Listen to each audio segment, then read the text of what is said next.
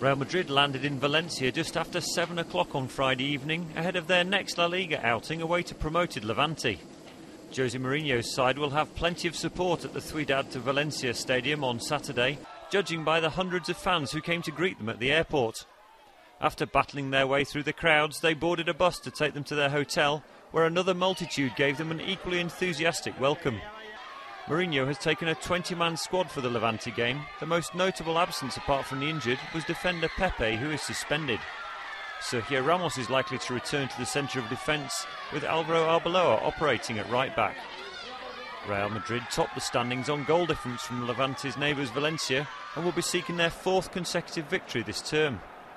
Their hosts, who just came out of financial administration on Thursday, lost their first three games back in the top flight, but were boosted by a 1 0 win away to Almeria during the week.